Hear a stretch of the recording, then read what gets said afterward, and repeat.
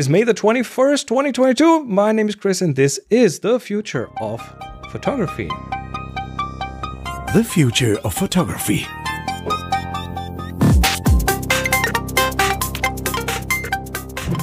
And with me, Adrian and Jeremiah. Yay! Hello. How's it going, guys? Oh, good. Yeah, good. Good, Sorry, I missed not last week. I was I was out having fun doing photography stuff with my were pho- friends. which yes, you were doing photo stuff. That is always a good excuse. You're excused when you're doing photography. We were just talking about it. Yeah, well, you know, it's it, it it's not like it, it's not like it's happened often enough in the last couple of years to be able to get out and see people. But I thoroughly enjoyed my Saturday hanging out with my mates. Lots of stuff going on, loads of crazy stuff. Uh, mostly analog things, uh, a little bit of digital as well. Uh, So, but- what happened to you? I mean, I remember you being the no, I don't do analog kind of guy, and you've slowly made a move to the dark side again. Yeah, well, about the only constant thing in my photography journey is my fickleness. So you know, it's it. I am. I am. Yeah, because this is this is my playtime, right? This Yeah, I, this is the luxury time. This is the luxury time for me, right? I, I I get to play and I get to just go with the, you know, go with the whimsy. Um, and so uh, you know, recently, as you know, I talked about it on the podcast. I bought a new film camera, a six by twelve medium format camera, which is awesome. Um, so yeah, there's that there's that going on. Uh, there's digital stuff going on. There's uh, yeah, it's just yeah, it's nice to play and it's nice to be back out there and be sociable with it as well. So so Are I'm you- I'm are- all are- good. are- I'm, I'm going to ask a question for both of you before we get into uh, our topic, uh, which is really how much time do you allocate or spend or want to spend on acquiring new technical skills? Ooh. That's a good question. I like to acquire new technical skills. I was doing some of that just last night, and that's going to be part of the topic of the conversation. adding adding new skills uh, to the toolbox is uh, one of the things that gives me most satisfaction in photography. So I like to play, I like to experiment, and uh, I don't always get to it, which is why I'm looking forward to. A week from now, I will be holding a, a, a- one week workshop. It's kind of the most important one. Uh, 30 people meet in an old abbey somewhere in southern Germany. And we have one week of playtime, and everything's taken care of. We get fed. We have rooms to stay in. It's uh, it's an old abbey. It's a beautiful uh, building, and um, people are now. We have a, we have a Slack where we talk about things in the channel. Um, they have already figured out all the projects they want to do. They're going to bring like tons of toys and things. All the all the all the cars boots are going to be full to the brim with Nice. whatever they can f- figure out and it's going to be analog and digital and so on so this is a play week for me too i'm um, looking forward to acquiring some new things Oh, good. I'm looking forward to some play too, though I've been uh, learning, teaching myself how to code. Oh, okay, interesting. And that is, uh, it's challenging. What kind What- of code? Are you what like coding? websites or? processing PJ uh, P5JS okay Python. basically. python Python, okay. The Interesting. suspect Is this a, a new career direction you're taking? I mean, you know, DevOps just a- a little engineers are all the rage. control These over my generative stuff. Um, Ah, okay. You know, yep that helps that helps for o- that for opening sure. the hood, as it were, because Yes. now I do a lot of that. Uh, I'd say manually. In other words, I create the parameters and then generate. I'd like to see how a machine with set parameters would do the same as what I'm doing or adjust it. Mm-hmm. So, Very interesting. all right so anyway, let's kick it off. what's what's your skill project adrian Ah, well, so uh, well, it's, it's a clue in the title of the show this week, isn't it? So I, I am uh, investing time and uh, to to learn a new skill in production of a photographic zine, something I have talked about for many many years and never got around to doing, and uh, yeah, now I've started, which is uh, which is good. I'm enjoying. so it. let's let's let's do a quick round of definition for all those Yeah, old people among us who don't know what a zine is it's a zine is short for magazine Yeah, yeah. Um, although, yeah, originally, I believe, um, certainly in the UK, it's kind of taken on a, a, a meaning in its own right. Um, usually refers to a small, you know, uh, fairly uh, fairly roughly produced, sometimes well, sometimes roughly produced. Um, you know, sort of little booklet, magazine, small magazine. Traditionally, would have been you know photocopied uh, at, your, at your local photocopier. Um, yeah, often associated with you know the music scene or, or other underground uh, or non-mainstream art scenes. So we're looking at a physical object. yeah. Of. Yes. It's not. Apparently it's not on a web page. It's follow up question uh, Did you pick up an old Xerox machine for your house? Tempting as that is. really right? cheap now, Tempting that is to install one in the garage. Um, yeah, no, I, I didn't. Um, although I could, I suppose, go to the office, go to my office and, and, and, and use the one there. Uh, no, I didn't do that. Um, inspired by, but but not quite that retro. Did All you right. create cr- creating it uh, as an analog, creating it as a digital, and then going analog? Uh, this one, uh, I'm creating digital, uh, and uh, it, although interestingly, the the, the as I'm I'm partway through it at the moment, got to got to a completed first draft, but still maybe some work to do. I don't want to go too precious on it because yeah, don't want to let perfection be the enemy of good, right? I want to get it out there. Uh, but having said that, um, I do, you know, I have been using lots of layers in my digital production, uh, and I could easily imagine doing something that has a, a more physical collage kind of, you know, uh, layout to it, um, you know, in the future, but not this time around. All right. So um, you've uh, given me a PDF of it. Is it okay for me to put that on the screen? well, no, no, no. Can it's I do your... that next time? No, no this is the acid absolutely. test, though, isn't it? This is the acid test. Or, or okay, um, this, this, if this it was, if it were ready, I would say yes, but this is a very rough first. It's a work draft, in progress. Okay, sh- shared with you guys just to support the conversation rather than anything else. So, but so what I, are the... it is absolutely to be shared, and I will be printing. Yeah, uh, I mean, it'll be a fairly short run, but it will go out to other people. So you know, it is definitely to be shared. All right. Um, so what are what are the things that what are the areas that you need to or that you did need to invest in in terms of building up skills, learning new stuff? Oh well, in the skill side, um, it's the uh, what historically I suppose you'd call the desktop publishing. It's the the layout type stuff.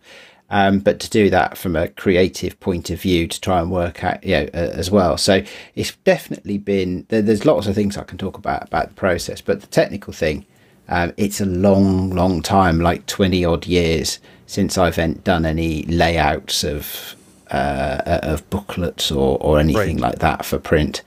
Um, uh, and so, and in those days, they were fairly small sort of you know software getting started manuals you know from yeah. So nothing nothing too creative. Uh, a follow-up question here on on layouts. I mean you have everything from being able to do it in the most simple fashion using say if you're working on a mac pages has mm-hmm. a very integrated way of, of laying out things or you can go right to adobe and and get into the weeds very very um, in a much more complicated complex way of how book book designers often work. So and probably there's a litany of software that runs the gamut between them i'm i'm assuming. What do you use? Well this is part of the technical skill. So it's a it's a software application that's new to me um, and what i chose to use was affinity publisher. Mm-hmm. so uh, I, I've had uh, Affinity Photo for years. Um, I use it on the Mac, use it on the iPad. Um, and so when it came to doing something that was more about layouts, um, it's good to have Publisher. What I hadn't quite realized is just how nicely integrated the products are. Actually, you can just choose any layer in any layout, and you can switch from what they call photo persona to, to publish persona. And if you ch- click on the photo persona, you just get all the affinity photo tools. So you can like everything you'd expect, and it all works seamlessly inside the one thing. It's great. Yeah, I've been I've been weaning myself off of Adobe uh, for the last few years, and the the whole Affinity Suite by Serif is just the lifesaver. They're, they are so good. They're so modern and so um, integrated that um, yeah, it's, it's a it's a joy to work with these tools. So, are, are you recommending this? I I, I have the um, I have several yes. things on Affinity on my computer, but I'm so locked into the Adobe right now, and I haven't had the time to kind of mentally move over because I obviously It- I understand everything. It is it, it is one of those uh, trade-offs between tw- 20 years of muscle memory and uh, uh, trying having to relearn a couple of things. Uh, but on the other hand, um, honestly, I've it, Affinity the, the entire suite feels like a fresh of uh, a breath of fresh air because it uses the the like all the features, the multi-threading, the a lot of things. You know, the, the Adobe. I, I, I don't want to. I don't want to bash Adobe, but they have been. Yeah, the the underlying infrastructure isn't the most modern one at this point. So, um, yeah, I see I see Affinity as a as a viable competitor. My my brother is a graphic designer, professional graphic designer. He switched away from Adobe the moment Affinity was good enough. Oh, and and uh, do they have a quote Lightroom version? That is the only thing they don't. So that's the only thing that I still use from Adobe because there is no, uh, but there are competitors, but the whole in, integrated uh, asset management plus editing plus printing plus whatever, uh, Lightroom So is still into, the best. for example, you're you're into uh, say what I would consider, you know, semi-crude uh, ed- editing on on Lightroom, though it's become much more sophisticated over It's the really last good three now, years. Yeah. with matting and all, all manner of things. But when you want to do more of a deep dive, you can just go edit in. And I'm wondering, of course, they never go edit in Affinity, Oh yes, you can do You that. can you can do that though. I believe. I do- and then I do a it back fu- in.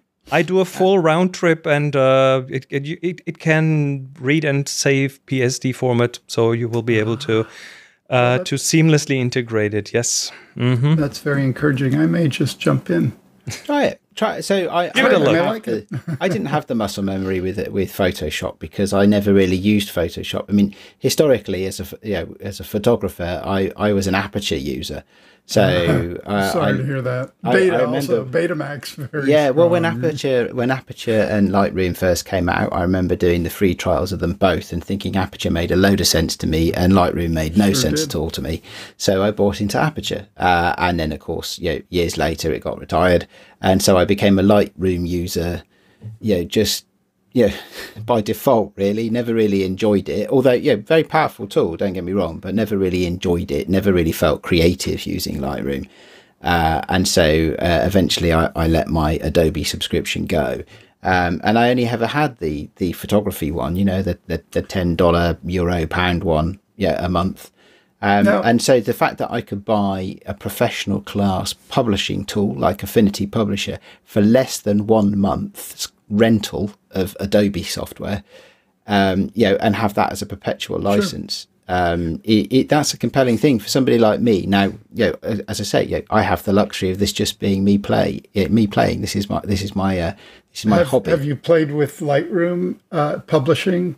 I mean, I know they, they integrate with Blurb or whatever it is, and, and then you can take it out to a PDF. Uh, I I've have done a little bit. I've done a bit of, um, you know, soft proofing in Lightroom over the years, but No, I'm talking about taking it out and actually laying out. You know, they have integrated layouts, etc., that allows you I don't. I don't think it's it's flexible enough um, for a zine type of application. I've I'm not, not sure about that that, part of but but I've played with it and uh, it, it was never. Adrian, yes, it was never fun using that part of the program. I use other parts and I feel quite creative in it, but that part, the whole b- b- book creation part, is Not good, yeah. I don't. I'm I'm not a fan of it. So uh, yeah, so, to, so to answer your question, Chris, that's the technical learning I've been doing as part of this process. It's nice to have. I wouldn't. Uh, it's nice to have a project to work on. Yes, an, an outcome to achieve. Because I don't think, although I love, te- you know, although I love picking up new te- techniques, I don't think I would have chosen just to dive into, you know, a, professional layout application just for kicks.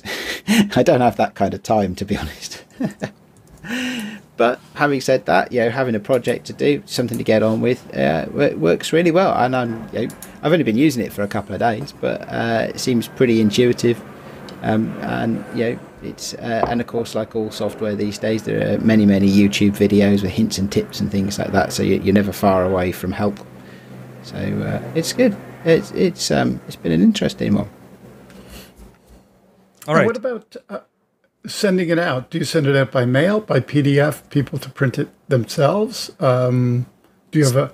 Are you planning on having a subscription list? Um, mail serve? Well, I tell you what. So uh, one of the things I've been thinking about is this: is you know, and and Jeremiah, you've you've challenged me on a couple of these things over you know, uh, over the time we've we've been talking. You know, one is that you know, creating a body of work is a very different exercise from you know just you know editing your hero shots and you know creating a specific output really focuses as well and you know getting stuff out there. You know we had the talk a few weeks ago about is the metaverse ready for me yet? And it uh, yeah.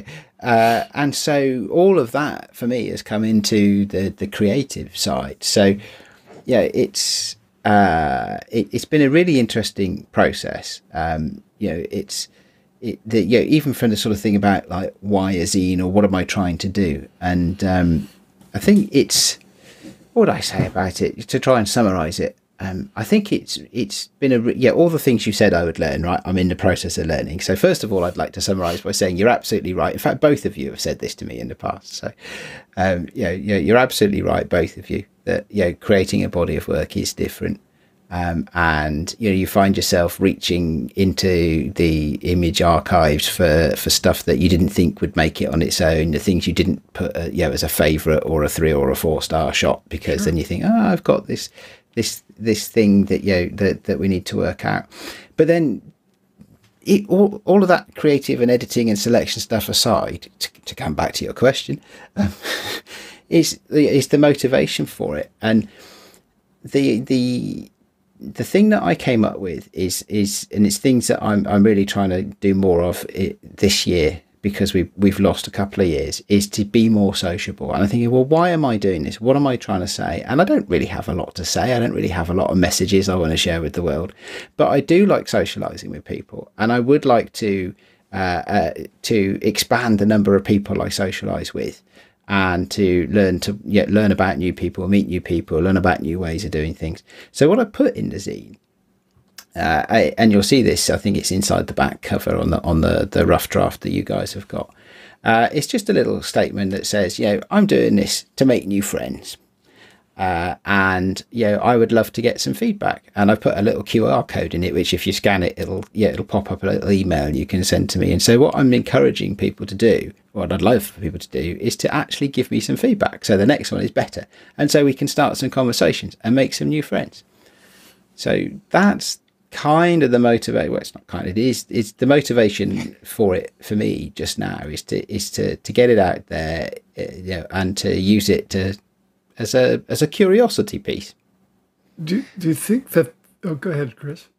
Um, no, I was I was just I was just um, uh, looking at the zine, and I was wondering: is that a monthly thing? Is that a regular thing? Do you do? Are you planning to do this every? I'm asking because I've been I've started this digital magazine uh, online a while ago, like three months ago, and, and I do it every week, and uh, it's been a good experience because it forces me into a habit. It forces me into creating over and over and over again. So it it for it, it furthers my like the routines of things, but also puts me um, on the spot to to deliver something, and that is an interesting and uh, important kind of exercise, I think.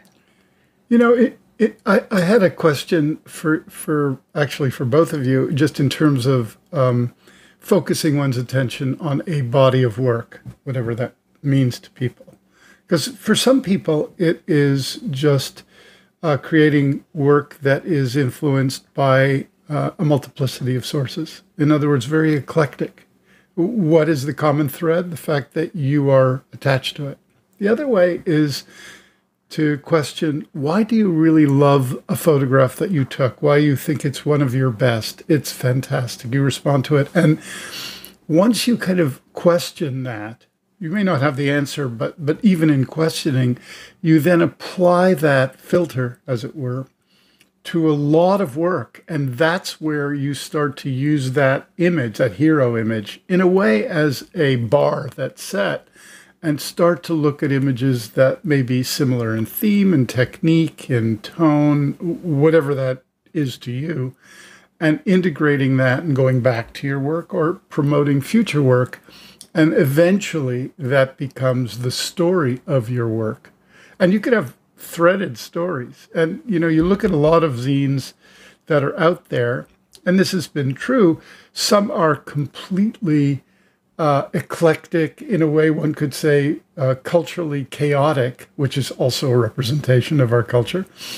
Uh, and some are very integrated with a very specific story, you know, trees in winter. The other would be chaos and and and so I think we we react to these things uh, in different ways, but they all are um, part of creating a body of work, which really means the kind of life journey of understanding what your work really is. I don't think you ever really get there. It's really for others to assume that. But for you, the constant questioning about why you're doing something or how you're doing something and what your reaction and why you don't like something and why you do, uh, that always is a propellant to do more. And, and so if that's reflected in a zine, I think that is really exciting for not only the creator, but for people who are uh, reading or, you know, observing or experiencing it. Hmm. So carry on. well, so uh, I mean, yeah. At the moment, I'm at the opposite end of the spectrum from Chris. Uh, you know, Chris, you set yourself a, a rhythm, a cadence. Uh, I haven't. I'm I'm learning for the first time and enjoying going through it for the first time. Um, I think you know, will there will there be a regular thing? I don't know. I wouldn't want to say no to that. Um, I, it's not planned at the moment, but then rarely is anything that I do in photography planned.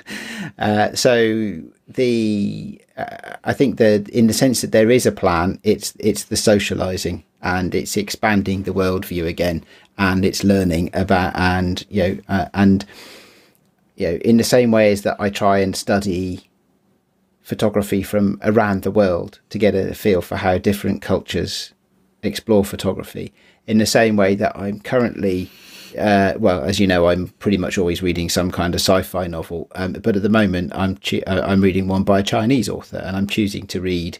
Three body problem. So it's not the three body problem, although that is an awesome that is an awesome series of books, and I have read those.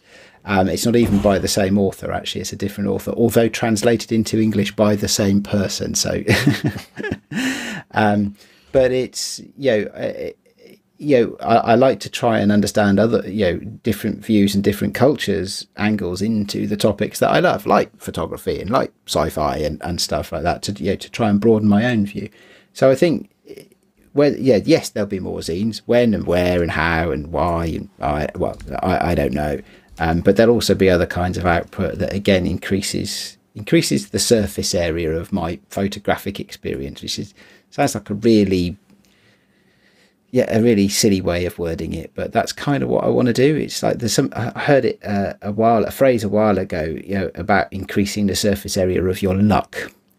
And the idea of increasing the surface area of stuff really stuck with me. I don't know why. It's kind of like you know squirreled away into my head, uh, and so you know I, I I'm trying to increase the surface area of my ph- photography, my, my, my creativity, my social experience, you know, my learning about art and t- and craft and technique, all of that.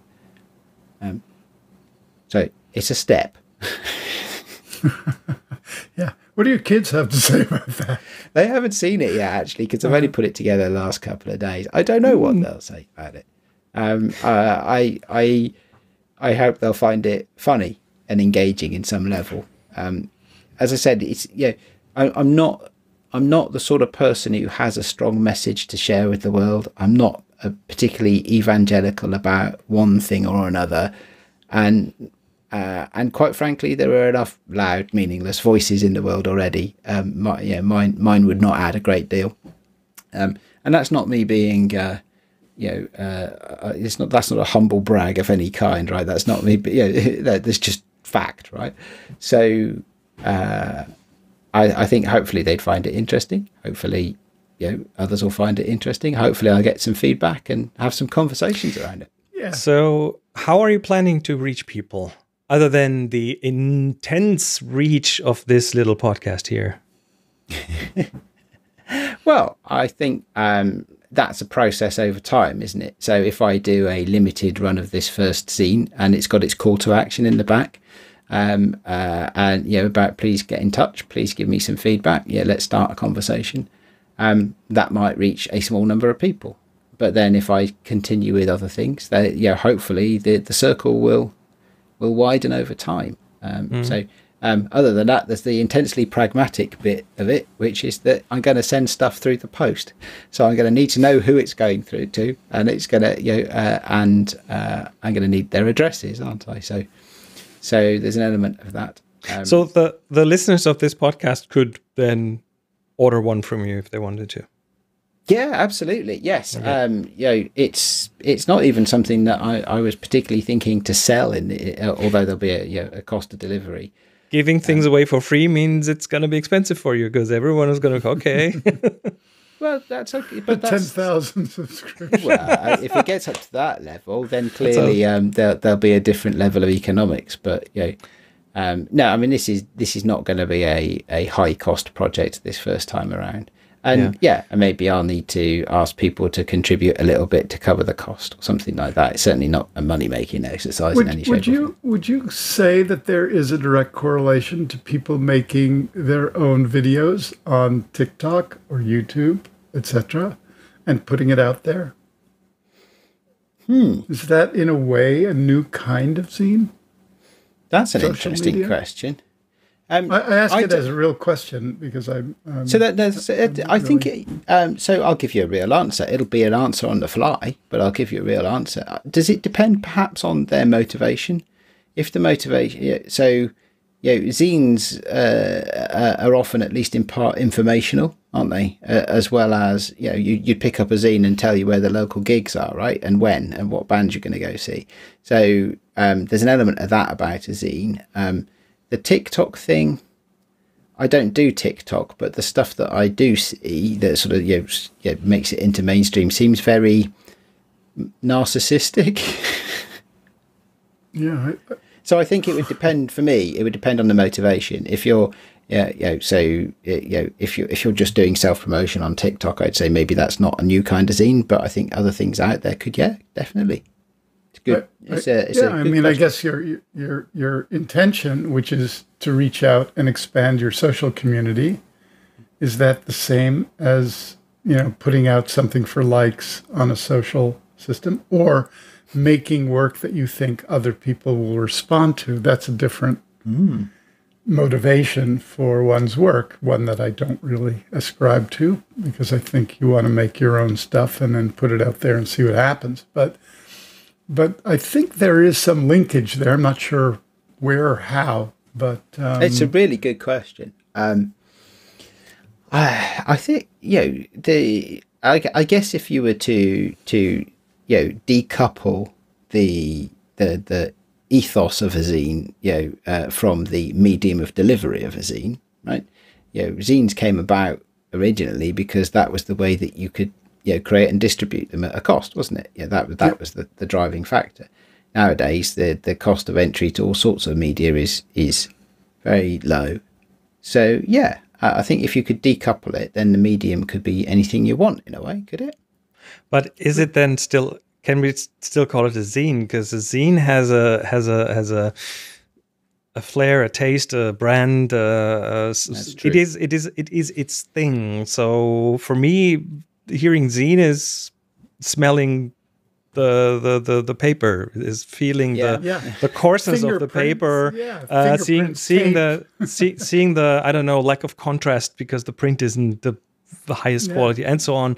So zine zine for me is is is a thing that I don't think is easy to just put in, into another medium, then That's it's not really- a zine. I th- I remember I remember when um, Wired magazine came out, and that was kind of a game changer in terms of like the layout and stuff. Um, and then the web version of that was a very different thing. It wasn't the same. Well, Juxtapoz magazine, when it first came out, was a published art magazine, very Yeah. much like a zine in terms of its rawness. Let's call it a Yeah, raw yeah, yeah. aesthetic. Fingerprints on. You can feel the the effort not to be perfect.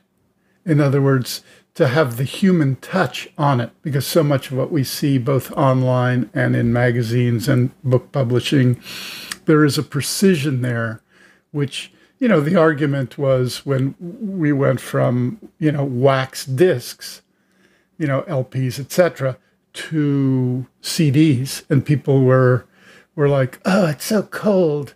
The- the Doesn't crackle so anymore. cold. It doesn't crackle. There's no scratches. It's like horrible. On the other hand, if I compare listening to, say, a beautiful, um, you know, jazz pressing on my system that is a LP and immediately listen to a MP3 of it, you can really see and feel the difference with no crackle. It's just the way the human ear hears. You know, I mean, it's not so precise. Um, there is an aesthetic, um, call it an imbalance between analog and digital, and I, you know, I think that with coldness also comes specificity, and that's okay for an aesthetic if you can transcend the um, quote initial lack of emotion when you first encounter that. Because we don't really think of when we look at videos anymore, we don't think of anything as being, oh, that's cold as opposed to that's warm. But a zine is definitely a kind of lean in, warmer, more accessible, less precious. And be, by being less precious, it's easier to engage. Of course, when it becomes hyper popular, all the haters come out and push it away. So I think it, its very limitations of reach and aesthetic is part of its charm. Would you agree? Yeah, definitely. Uh, I think it's yes, it's cer- certainly the the. I'm not looking to create anything for, that that's perfect for for two reasons. One is that that's not really what I was hoping to achieve, and secondly, uh, it's you know it, it's easier to to not be perfect. Although it's amazing how much creative effort needs to go into being not perfect. So it's not that you're being less perfect on the creative it's side. It's, it's more that the production values of the th- uh, of the physical artifact are, are, are lower in that sense.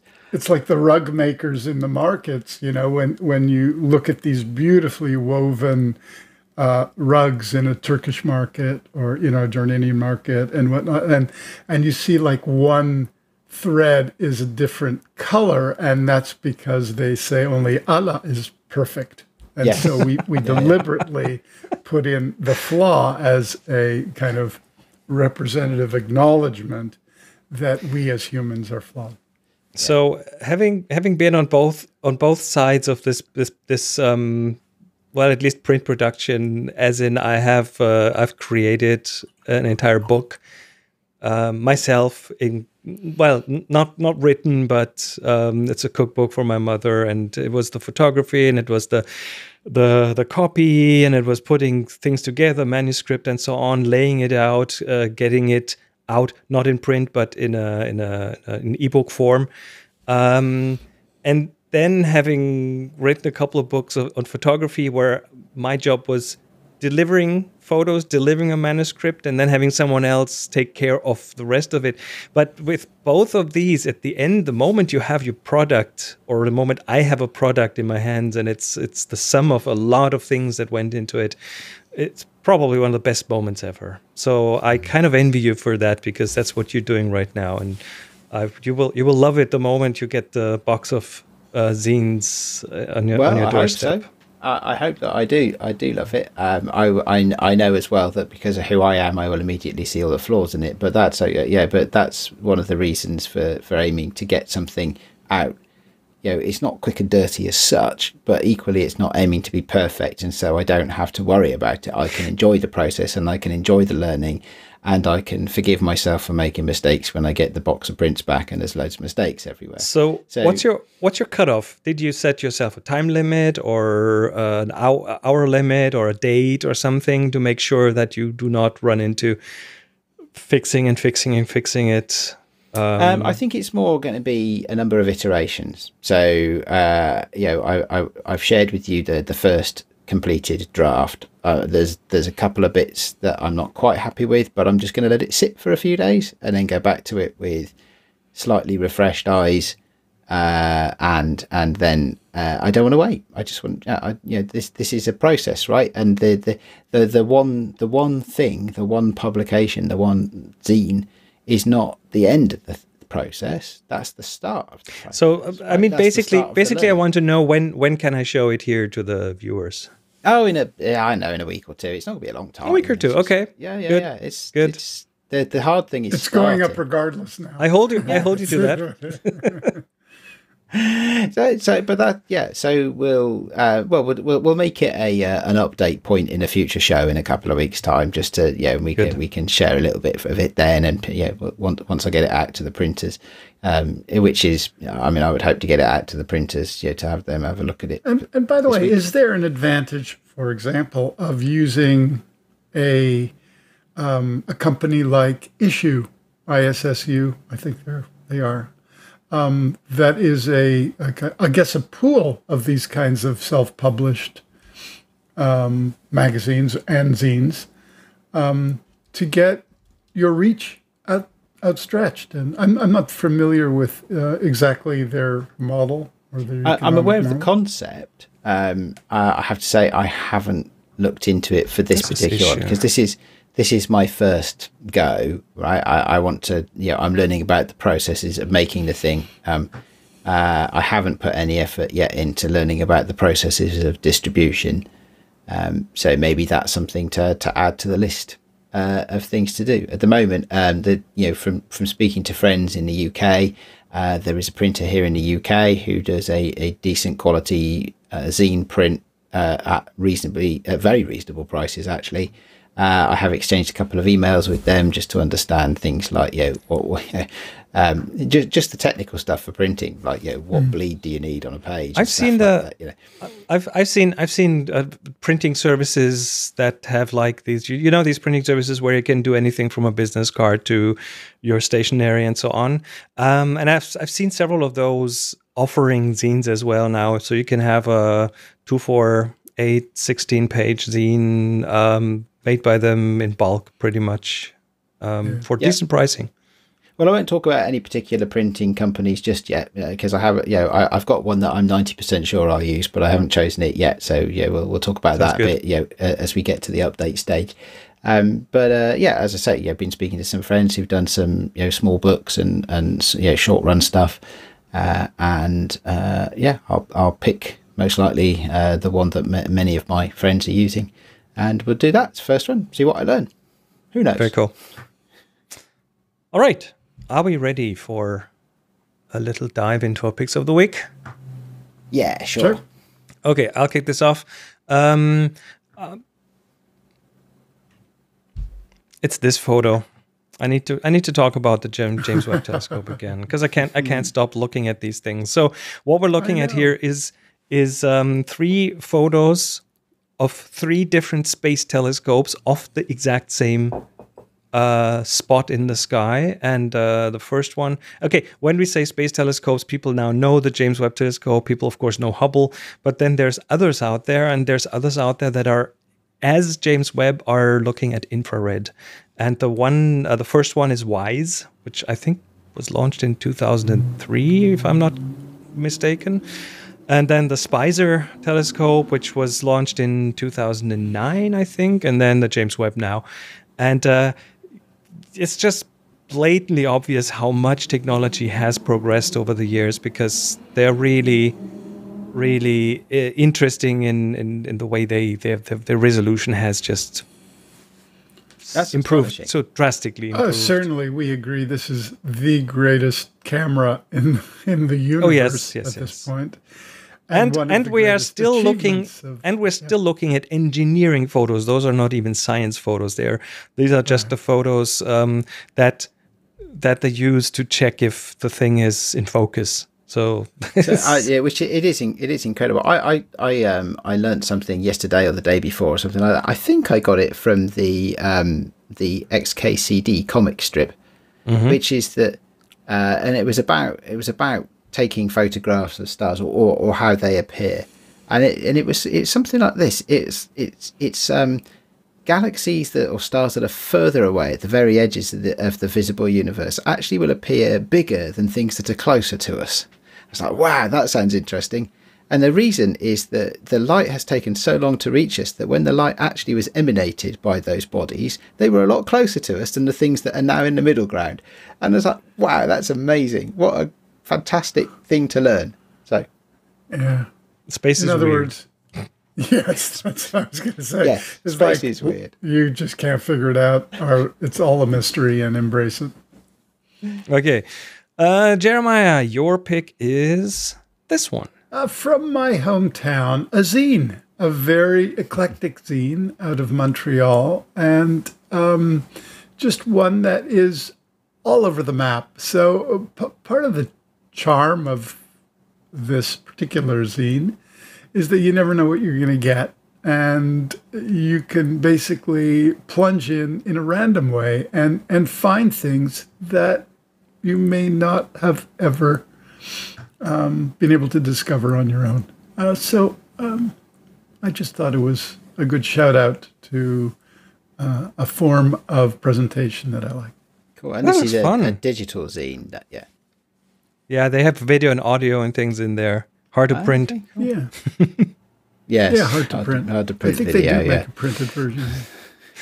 all right and last but not least AJ. Oh well, this this loops back, right? This closes the loop on my technical learning. Um, Affinity or Serif. I can. I think the company's called Serif. The, the Serif is the company affinity is the the- product line yes I think it's product line. pronounced serif. Why but the, or there you go. Serif? Yeah, sorry, Serif. S- uh, yeah, I, I don't even know. Anyway, Affinity, right? Uh, I've got a spring sale on fifty percent off everything. they do this all the time it's great Yeah, uh, and uh, actually, one of the reasons I want to make this my pick of the week is not just because Affinity Designer is not designer, sorry, Affinity Publisher is the tool that I'm using.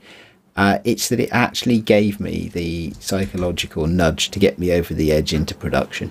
I'd been humming and hawing about what tool to use and and uh, you know to, to do the layouts and you know I, I knew how I needed to set up a document and it just all seemed you know uh, it was, there were just barriers to entry, right? You know, I thought, well, I could use a, a word processor or I could use a, a you know, uh, Affinity Photo or whatever.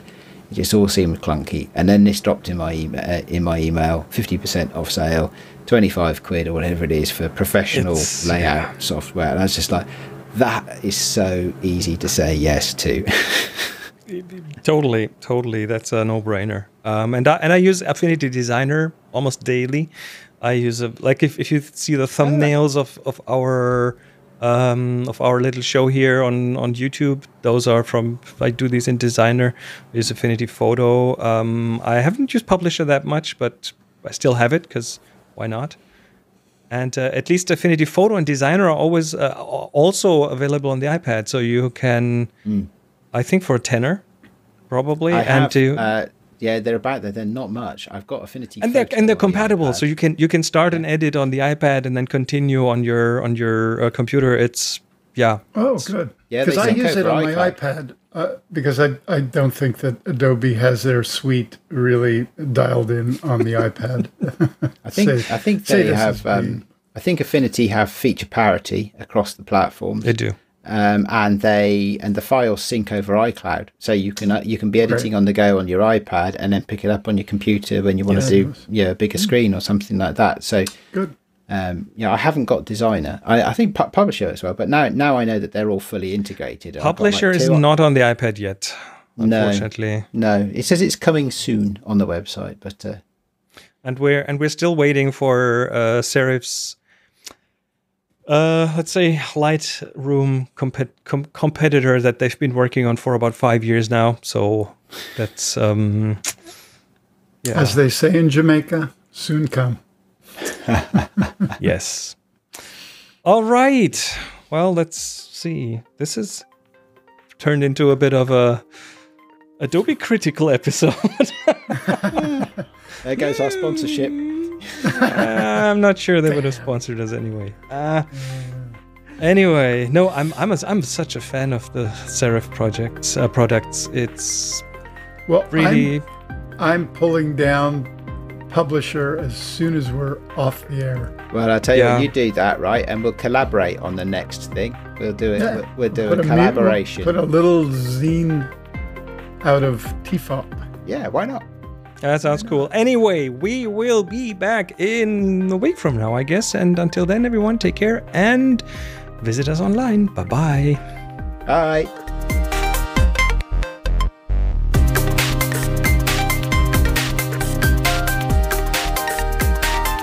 You've been listening to The Future of Photography.